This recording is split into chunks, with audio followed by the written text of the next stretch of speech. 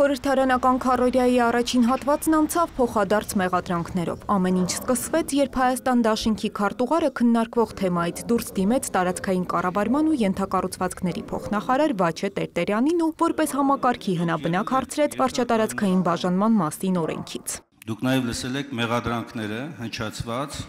այդ օրենքի ձևակերպումներին, թե իբր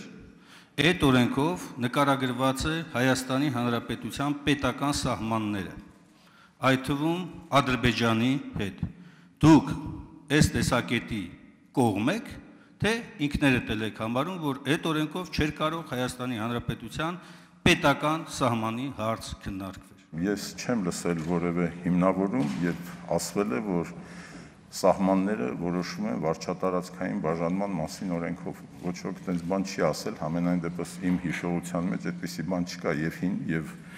նոր ժամանակաշրջաններում։ Տերտերյանին Հայաստան դաշինքից արձագանքեց Արտուր Խաչատրյանը, խոստացավ ուղարկել բազմաթիվ ձայնագրություններ, որտեղ կառավարության ղեկավարը հայտարարում է. Շուրնուխից արևելք Ադրբեջանն է, քանի որ օրենքով այդպես է ամրագրվել դեռ 2010 թվականին։ Արդեն ամբիոնին մոտեցած Վահագն Ալեքսանյանը նկատեց. 11 տարի առաջ ազգային ժողովի դահլիճում այդ ձևակերպմանը կողմ քվեարկած մարդիկ այսօր փորձում են պնդել, որ իրենց քվեարկությունը ոչինչ չի նշանակում։ Ընդդիմության հայտարարություններին նաև ազգային ժողովի փոխոսնակն արձագանքեց։ Ոչ ոք չի պնդել, որ սահմանը որոշվում է վարչատարածքային բաժանման օրենքով, բայց պնդում է այլ է այն падգաունները, որոնք ժամանակին քվյարկել են այդ նախագծի օգտին, նաև քվյարկել են դրանում ներառված պնդման կողմ։ Ամեն մի հնարավոր առիթով դուք փորձում եք կոնտեքստից կտրել մի ինչ որ արտահայտություն, որ կասի մեր քաղաքական թիմից ինչ որ մի մեկը։ Միայն թե այդ ամեն ինչը սпасարկի ձեր օրակարգը։ Բայց ձեր քվյարկությունը որպես падգամավոր ոչինչ չի նշանակել, հա։ Նշանակել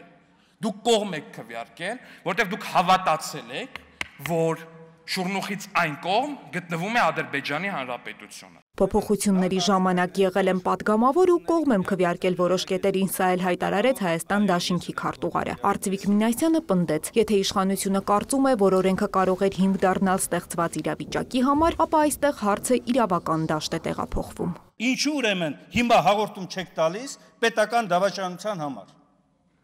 Ինչու չեք տալիս, թե թող հարուցեն քրեական գործը, թող կանչեն բոլորին ու քննեն, թե ինչու է այդ փոփոխությունը տեղի ունեցել եւ արդյոք այդ փոփոխության նպատակը այդպիսի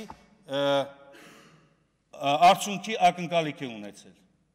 Հերիք եղավ, այստեղից դուք մանիպուլյացիաներ եք անդադանում։ Ոնց կարելի է վարչատարածքային բաժանման մասին օրենքը դիտել որպես արտաքին սահմանի որոշման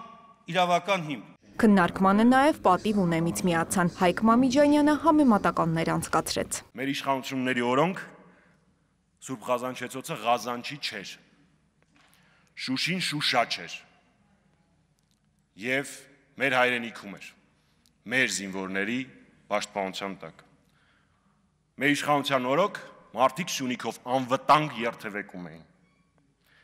Ալիևն էլ բողոքում էր, որ փակ դռների հետևում իրեն ստիպում են ճանաչել Արցախի անկախությունը։ Երկրի ղեկավարը, parlamenti ղեկավարը, գործադիր իշխանության ղեկավարը անարգել արցելու այցելում էին Արցախ։ Այլ ոչ թե վախենում էին ինչ որ մեկից, Սահմանների մասին այս քննարկումը պետք է դադարեցնել, հորդորեց քաղաքացիական պայմանագրից Վլադիմիր Վարդանյանն ու պատասխանեց Մամիջանյանի հայտարարություններին։ Խոսում եք նրա մասին, դե Արցախ գնում էինք, սենց էր լինում, սենց էր լինում։ Մի հատ հարց եմ ուզում տամ, էլի։ Արցախի անկախության տոնին, պարոն Մամջյան, ուր եք, ինչու՞ մեր այդ Արցախում չէիք։ Կամ երկրորդ հարցը ավելի կարևոր, երբ որ ԵԽԽՎ-ում քննարկվում էր կարևորագույն նախագիծ, որտեղ պետք էր վերականգնել, վերադարձնել Արցախ անվանումը, Լեռնային Ղարաբաղ անվանումը, ուր էիք, ինչի մեր կողքին չէիք։ Ինչի մեր հետ չէիք մեկնել Ստրասբուրգ եւ падգամավոր առ падգամավոր չէիք համոզում, որ չափազանց կարեւոր է, որ կենսական նշանակության հարց է։ Հարգելի գործընկերներ, խնդրում եմ դադարեցրեք այս քննարկումը սահմանների վերաբերյալ։ Սա անպտուղ է եւ բերում է շատ ավելի վտանգավոր հետևանքների, քան կարող եք պատկերացնել։ Առաջին ընթերցման падգամավորներն այսօր նաեւ քննարկեցին եկամտահարկի վերադարձը սահմանափակելու գործադիրի նախագիծը։ Ըստ առաջարկության փուլ առ փուլ կհանվի Երևանում հիպոթեկով բնակարան ձեռք բերող քաղաքացիների համար եկամտահարկը հետ ստանալու մեխանիզմը։ Պրոցեսը կսկսվի հաջորդ տարվանից։ Համակարգից օգտվելու համար, երբ գույքը ձեռք է բերվում կամ նախատեսվում է կառուցել Երևան քաղաքի առաջին գոտում, Անհրաժեշտ է, որպեսզի հիպոթեկային վարկը ստացված լինի մինչև 2022 թվականի հուլիսի 1-ը։ Նույն տրամաբանությամբ երկրորդ գոտու համար մինչև 2023 թվականի հունվարի 1-ը, երրորդ գոտու համար անհրաժեշտ պայման է սահմանվում, որ վարկը պետք է ստացված լինի մինչև 2023 թվականի հուլիսի 1-ը,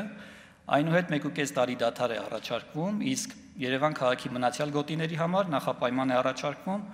որ հիպոթեկային վարկը ստացված լինի մինչև 2025 թվականի հունվարի 1-ը։ Նախագծի սահմանափակումները սակայն չեն տարածվի այն շինթույլտվությունների վրա, որոնք կստացվեն մինչև 2022-ի հունվարի 1-ը նշեց Պողոսյանը։ Ըստ նրա նպատակը տարածքային համաչափ զարգացում ապահովելն է մարզերում շինարարությունը խթաները։ Օրենսդրի հաստատմամբ նաև սոցփաթեթից օգտվող քաղաքացիները կկարողանան կൂട്ടակված գումարները ծախսել մարզասրահներ այցելելու ուսման վարձը վճարելու նպատակով։ Անուշ Մուրադյան, լուրեր։